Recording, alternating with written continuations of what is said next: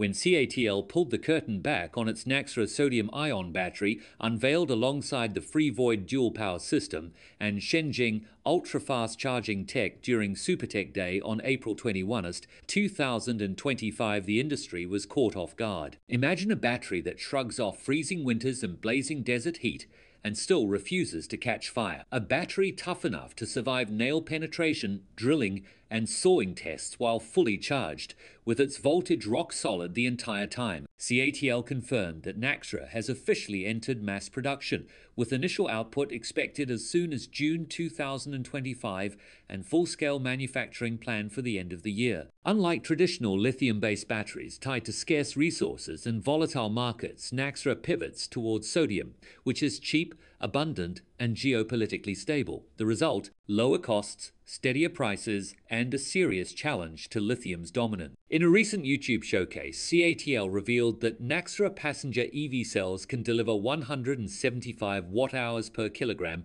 survive more than 10 zero cycles, and operate reliably from 40 degrees Celsius to Xi 70 degrees Celsius, all while offering around 500 kilometers of range. Analysts had once projected sodium ion to be a niche market worth only 1.5 billion by 2030, but with EV sales already topping 500 billion in 2024 and set to double by the decade's end, even a modest 5-10% slice of that market would mean tens of billions in revenue. If Naxtra gains traction, it could ignite that shift. And what about safety? CATL went all out to prove it. Their engineers crushed the battery from every angle in a brutal multi axis stress test. Using a semi cylindrical plate with a 75mm radius, they pressed down along the x axis until it was deformed by 30%, then squeezed the z axis to 15%, and finally the y axis to another 30%. Incredibly, even after being bent, squeezed, and battered, the fully charged Naxtra cell stayed intact and kept its charge. It's one thing to design a battery that performs well in ideal lab conditions. It's another to make one that can take this kind of abuse and remain safe with no explosion. To ensure it's even safer and reliable, they also ran it through an 8mm temperature resistance needle, through a high speed drilling test, and a sawing test, yet no fire. Temperature extremes? Naxtra thrives from 40 degrees Celsius to DA 70 degrees Celsius. In fact, even at 40 degrees Celsius and just 10% charge, it can still deliver 90% of its usable power. It also has 5C super fast charging, adding 520 kilometers in 5 minutes a game changer. CATL's test shows that Naxtra's sodium ion chemistry, combined with their engineering design, offers a level of resilience that could redefine safety expectations in electric vehicles, heavy duty transport, and grid storage. Sodium mining has been less environmentally destructive than lithium or cobalt mining. Sodium is also an easier and cheaper recycling process that could make sodium ion greener over its life cycle. CATL can even tap into sodium sources in seawater and mineral deposits like soda ash locally and globally. The best part?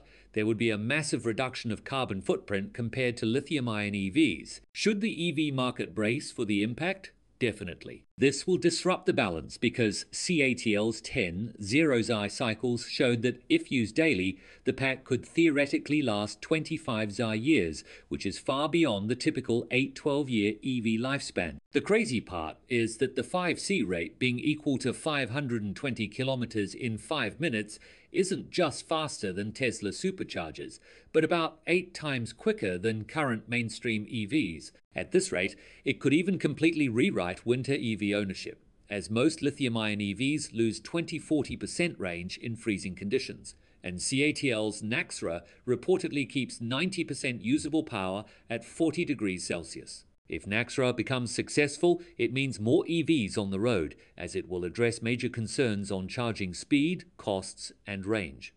Aside from EVs, Naxtra would be great for various energy storage. CATL is also developing Naxtra batteries for heavy duty trucks, which would reduce costs compared to lead acid batteries. And because Naxtra's cycle life and safety make it perfect for stationary energy storage, it could quietly dominate the grid market before EVs, like LFP did in China. Who else is in the game? Faradion is pioneering non aqueous sodium ion tech, and they are backed by Reliance Industries, focusing on mobility and grid storage. There's opportunity for scalability via existing line. Tiamat also has fast charging, high power batteries, 5 minute charge.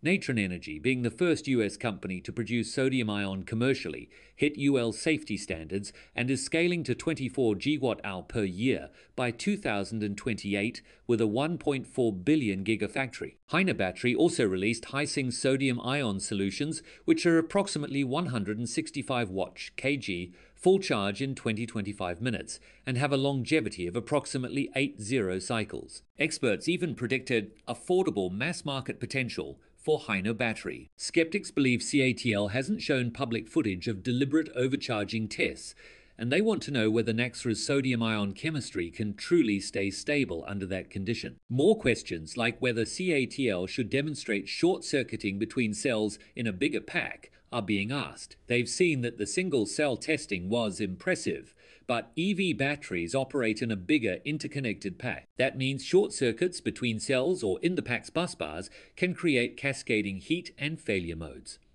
So, CATL has more work to do.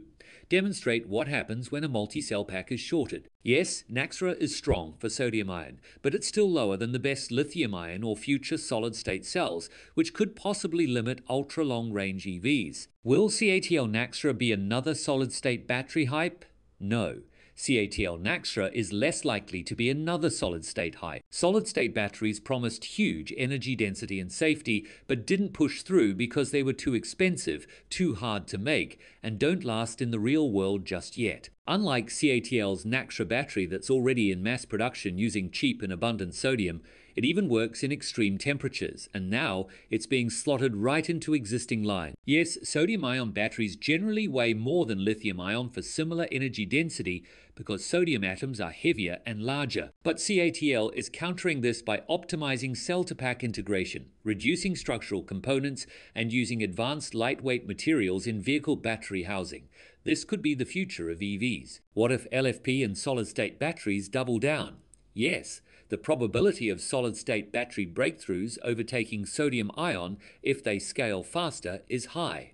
The clause is if. It's also worth noting that LFP is already cheap and proven, so Naxtra needs to clearly beat it in cost or performance to convince automakers to switch. Aside from EVs, Naxtra is coming for other sectors. Imagine your drone still flying in intense snow your laptop lasting 20 years without a battery swap, or your e bike charging in minutes with no risk of explosion. So, even if CATL doesn't eventually make Naxtra batteries for EVs, they could reach markets that need safe, cheap, cold tolerant batteries. What's the way forward? CATL should answer the questions about overcharging tests, let third parties perform tests on multi pack short circuits, and then mass produce it in the grid sector to scale. But the bigger question is would you trust a CATL Naxtra battery in your